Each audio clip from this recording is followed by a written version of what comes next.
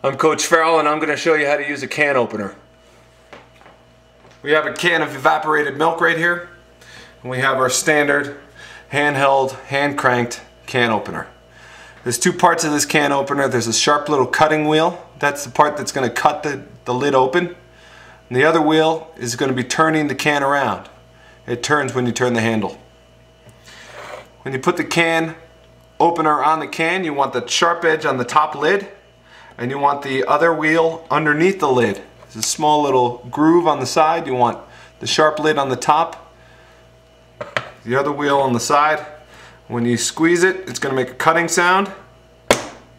And then you just turn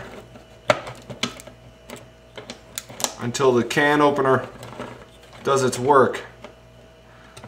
Sometimes you have to reposition it.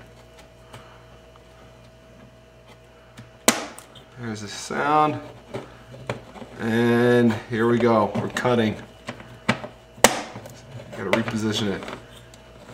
Well, cuts all the way around. If that doesn't turn, you can just snap it all the way around. It's another way. And what you're doing is you're just cutting the lid off. That's how you use a can opener.